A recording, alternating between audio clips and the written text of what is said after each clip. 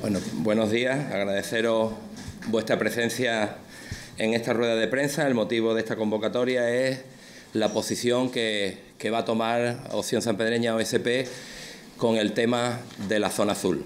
Parece ser que hay un debate, yo no entro en las redes desde hace tiempo, pero me comentan que hay un debate también importante, sobre todo en las redes de San Pedro, y queríamos un poco salir al paso sobre este tipo de comentarios.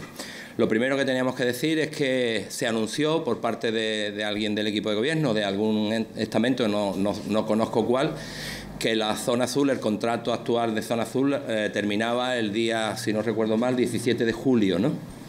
Sin embargo, informes técnicos por parte de la Oficina de Movilidad, de Tráfico, nos indican que no, que el contrato vence el 12 de agosto. Por lo tanto, la actual ubicación de la zona azul, tanto en Marbella como en San Pedro, en Puerto Banú, continuará hasta la finalización del contrato, pues en la, tal como está diseñado actualmente. ¿no? Pero hemos tenido un debate interno en el grupo de Opción Sanpedreña, en el partido de Opción Sanpedreña, sobre cuál es la base de nuestro posicionamiento sobre el tema de la renovación del contrato en zona azul. Nosotros continuaremos en la misma dinámica que presentamos siempre en nuestro programa electoral. Además, aquí me han recordado nuestras octavillas, es decir, en la posición, en el posicionamiento que tomó OSP cuando se inició la zona sur, sobre todo en la parte de San Pedro, aunque también fuimos y estuvimos con, con el problema que se radicaba en Marbella. Y nos vamos a posicionar tal como lo dijimos. Es decir, no a tantas calles en zona azul, aunque sí estamos absolutamente de acuerdo en que haya zona azul, porque yo creo que ha sido importantísimo en muchas zonas, sobre todo de San Pedro y Marbella también, en Puerto Banú lo mismo, que esa rotación que permite que, que los vehículos muchas veces estacionados los vecinos de manera pues mm, diaria, ¿no? pues permita que también haya una rotación entre y, los comercios también se vean beneficiados por, por encontrar estacionamiento aparcamiento temporal en, en, los, en, los, centros de los cascos urbanos. Por lo tanto, mantenemos nuestra posición de que sí estamos a favor de la zona azul. Lo que sí es que hemos revisado y hemos mm, visto en qué calles de San Pedro entendemos que se debería de minorar esa zona azul. Y en principio las que creemos que deben desaparecer prácticamente en la totalidad, que dejando algunos pocos aparcamientos, porque es triste llegar a la zona del mercado de San Pedro Alcántara y ver que hay una explanada importante de aparcamiento y que durante el horario de la zona azul prácticamente está siempre vacío. Por lo tanto entendemos que la zona del mercado, además la demanda de aparcamiento por los vecinos y que luego la zona azul tampoco es, es rentable para la empresa ni para nadie, pues dejar unas mínimas plazas. También entendemos que el cambio que hicimos en la zona de Norberto Guisoeta y Luis Braille también tampoco tienen la intensidad de, rotación de vida, por lo tanto desaparecerán en el momento que se pueda cambiar la ordenanza.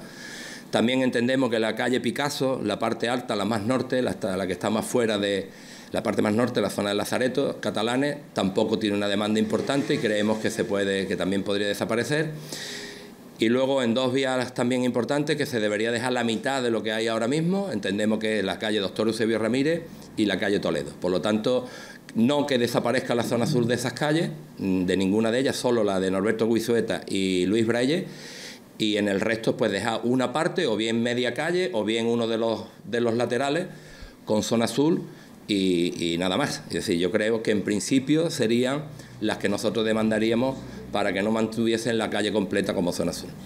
Y luego también hay un debate interno nuestro que no está cerrado, pero que es importante que también se conozca y porque siempre en nuestro debate estuvimos en contra de la zona verde. El principio del estacionamiento limitado, el principio es muy claro, permitir la rotación de vehículos y que no permanezcan los vehículos estacionados durante un tiempo eh, ilimitado. La zona verde, uno de los conceptos que tiene es que sí permite el estacionamiento limitado a 5 horas, mientras que la zona azul es solo a 3. Por lo tanto, para la gente que tenga que hacer compra o que tenga que estar en restaurante o que tenga, sí le interesa la zona verde en ese, en ese periodo de, de estacionamiento. Sin embargo, el concepto de que tú pagas y puedes dejar tu coche es absolutamente contrario al principio de la rotación. Es decir, si pago puedo dejar coche y si no pago no. Por lo tanto, entendemos que la zona verde vamos a estudiarla, no tenemos una definición cerrada de qué determinación vamos a poner, es decir, vamos a oír algunos argumentos. Y hay otro que también pesa bastante y es que, que hay sentencias jurídicas en las cuales dicen que la zona verde no es legal. Es decir, la zona azul sí está contemplado dentro de la normativa de tráfico, pero en ningún momento hablan de la zona verde. Por lo tanto, hay dos cuestiones que queremos plantear en el momento que nos sentemos con el equipo de gobierno, con el resto de compañeros, para ver qué determinación se va a hacer con el tema de la zona azul y entendemos que la zona verde primero no cumple porque hay jurisprudencia en ese caso y hemos visto sentencias, ¿no? Y lo segundo que entendemos que el principio de estacionar pagando en zona verde y te permita que estés todo el día aparcado, toda la semana, todo el mes, no es no va acorde con el principio que se establece de la orden de la necesidad de, en fin, de rotación de aparcamiento. Por lo tanto, eso es lo que proclamamos, un poco para que la gente que está también con los comentarios negativos y además poniendo en boca de OSP que nunca hemos estado de acuerdo con la zona azul, nunca más lejos de la realidad. Hoy queremos contar que la realidad nuestra es que nunca hemos estado de acuerdo con tanta zona azul y en principio no estábamos de acuerdo con todos los principios de la zona verde. Sin embargo, la zona verde entendemos, si legalmente se puede, que en Puerto Banú sí interesa y sí corresponde, porque son gente que está más tiempo de lo normal, que no son tres horas, que allí todo es zona verde, que puede estar cinco horas, pues a lo mejor lo que hay que hacer es poner zona azul con una limitación en Puerto Banú de más tiempo, ¿no? Pero no por pagar poder dejar el coche estacionado. En fin, estos son un poco lo que queríamos, los comentarios que queríamos hacer y un poco para salir eh, explicando ¿no? cuál va a ser nuestra posición en este tema. Luego, un tema en el que nosotros no vamos a entrar por ahora es si la zona azul va a seguir la concesionaria, se va a remunicipalizar o se va a anular. En principio nosotros estaremos de acuerdo en que no se anule, no se anule y ya el debate será interno dentro del equipo de gobierno de si se decide que se remunicipalice, es decir, que sea el ayuntamiento el que se haga cargo de la zona azul o que continúe la empresa con una prórroga que se le puede hacer de dos años. Nosotros entendemos que si en un caso, en algún momento, se decidiese hacer la prórroga, la prórroga sería con unas condiciones diferentes si nos lo permiten los técnicos. Y nosotros vamos a luchar para que de alguna manera esa prórroga, si se continuase, que no, no hemos entrado en ese debate ni lo ponemos encima de la mesa, cuando se decida, se tiene que decidir minorando, al menos en San Pedro, la cantidad de calles en zona Si tenéis alguna cuestión. Se quitan. Es decir, esas, si os habéis fijado, no se han pintado las líneas completas, solamente se pintaron un trocito de la zona azul porque era de, forma provisional.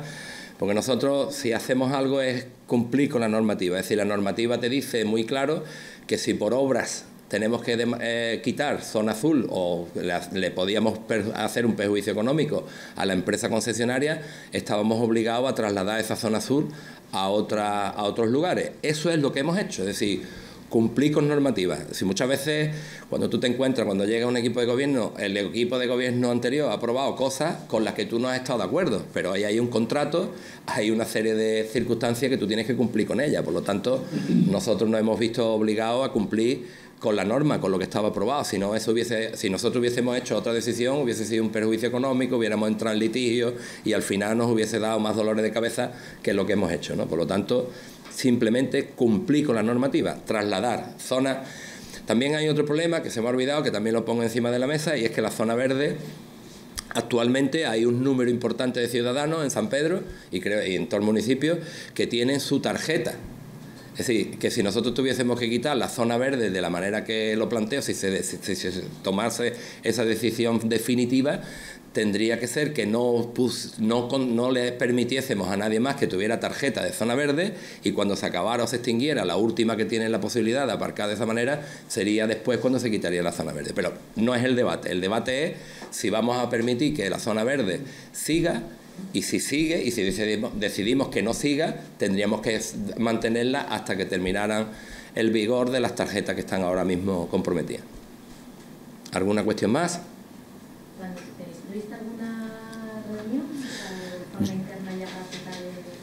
Yo sé que Miguel, porque ya hemos hablado de este tema internamente el equipo de gobierno, están ellos también mirando las posibilidades. Hay también un compromiso con Costa del Sol de que ellos planteaban como principal fórmula la de la municipalización, pero también Manuel Osorio ha estado hablando con los habilitados, tesoreros, etcétera, etcétera, de cuál sería el coste de, poder mm, municipalizar la zona azul. ¿no? Es complejo, no es algo que se decide y dice, venga, ahora queremos municipalizar.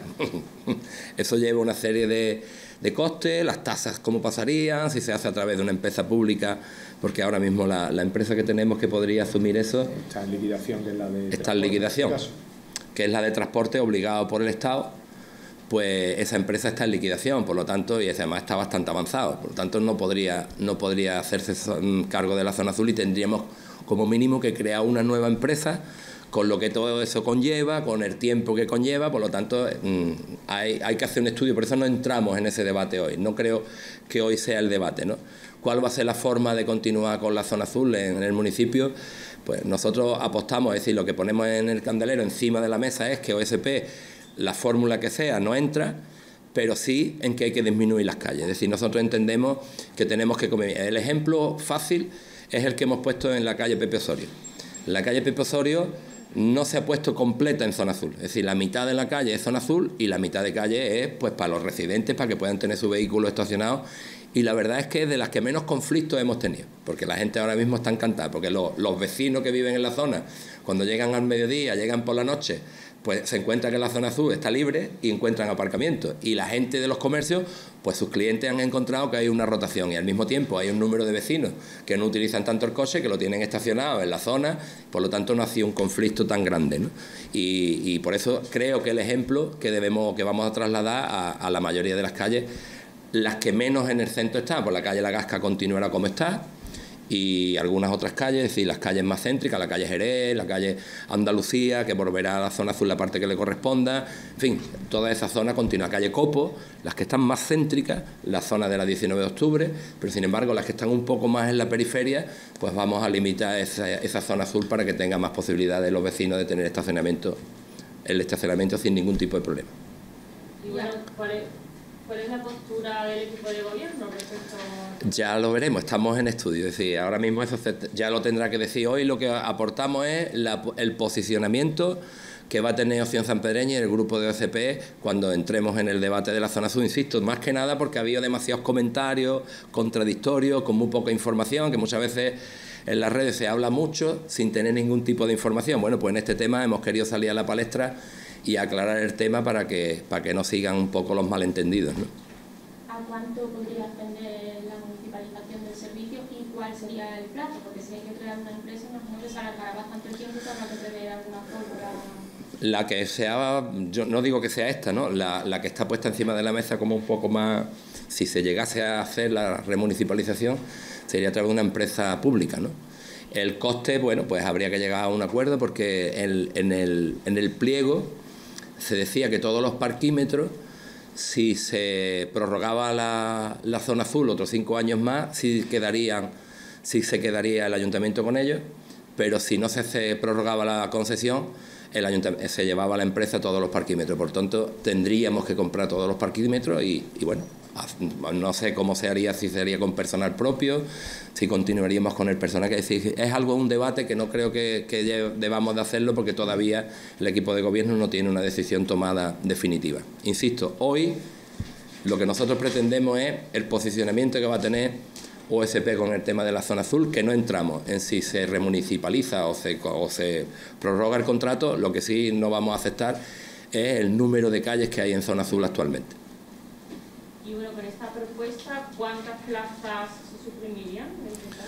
No hemos sumado, pero tampoco sería una exageración, porque la plaza del mercado, es que la plaza del mercado, por ejemplo, tiene muchas plazas, pero están siempre vacías. Que es triste, es decir, ¿para qué tienes eso en Ore si al final no te sirve para nada? Y el problema es que hay que cambiar la ordenanza, porque no tenemos la potestad de decidir si queremos aumentar o disminuir, no. Para hacer cualquier cambio en, la ORE, en la ordenanza, tenemos que modificar la ordenanza, que es otra de las modificaciones que estamos proponiendo. Es decir, poner un número de, de plazas en San Pedro, en Puerto Banú y en Marbella y que se pueda decidir de otra manera cuáles van a ser las plazas que se ocupen y no tener que modificar la ordenanza cada vez que queremos poner o quitar una calle. Pero el número de plazas no te lo puedo decir, pero no lo sé, no lo sé, de verdad que no. Es que no se ha hecho nunca por número de plazas. Se hizo un estudio que lo hicieron nuestros técnicos eh, en su fecha cuando hicimos la modificación de calles en San Pedro y ahí sí se estudió pues las plazas que se perdían en Marqués del Duero, las plazas que se perdían en Calle Jerez, en Calle Andalucía y ahí se hizo. Pero no sé si se ha hecho del global de plaza del término municipal completo, no lo, desconozco. Porque aquí está eh, por, por, metro... Por calles, por calles. Es decir, la ordenanza actual solo habla de calles. Entonces, la calle es el número de plazas que tenga, por lo tanto yo creo que no están contabilizadas. Bueno, ¿alguna cuestión más? Pues ya, pues ya está, pues muchas gracias. A mí me gustaría el tema de, esa reunión que tenéis pendiente en Opción San Pedreña para, para ver para dónde tiráis. El Consejo Consultivo. Bueno, asamblea, asamblea consultiva. Nosotros. No, no, en eso. no lo sabemos. Mira, nosotros ahora mismo lo que menos lo que menos tenemos ahora mismo con esa cuestión es prisa. Eso es lo que lo que más claro tenemos. Que prisa no tenemos, absolutamente nada. Tenemos, tenemos ahora muy claro lo que queremos, tenemos clarísimo, eso, estos dos años de trabajo nos han dado la experiencia suficiente como para saber lo que queremos y lo que necesitamos, lo tenemos muy claro y es lo que queremos conseguir. Hemos tenido alguna reunión, en principio tuvimos reunión con el PSOE de una forma informal, ya la hemos tenido eh, poniéndole nuestro posicionamiento encima de la mesa.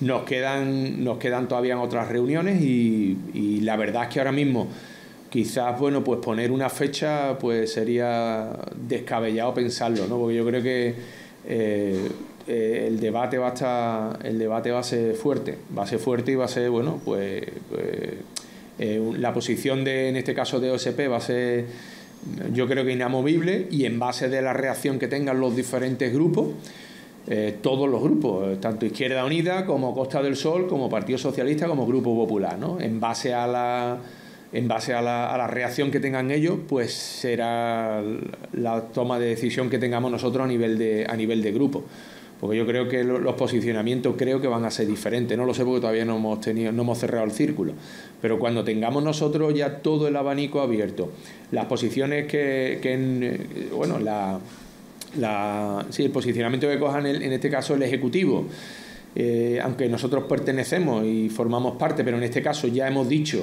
le hemos dicho que nosotros no vamos a ser parte de la solución, nosotros somos ahora un problema, así se lo hemos expresado, es decir, que a nosotros nos tienen que resolver un problema, el equipo, eh, y que sea el propio Ejecutivo el que lo resuelva, en este caso Izquierda Unida, Partido Socialista, y si Costa del Sol se quiere sumar ahí, que se sume, si no, porque es de su opinión, y después nos tocará también el Grupo Popular y ya está. Cuando tengamos todo, todo la, la exposición de ellos, pues nosotros les pondremos a nuestro Consejo Consultivo, que para eso lo tenemos que tener muy claro y muy bien masticado, y después la decisión será de ellos. Es decir, que ahora mismo nos queda todavía, yo creo que nos queda trabajo, nos queda trabajo todavía. Esperemos que sea, yo creo que a todos nos interesa, también vaya por delante esto, que a todos, a todos los grupos nos interesa que sea lo antes posible. ¿Por qué? Porque tenemos que, que coger un camino para trabajar y al municipio y a San Pedro en concreto, que es lo que a nosotros nos interesa, a San Pedro nos interesa de que sea lo antes posible, evidentemente, para coger el norte y seguir trabajando con la,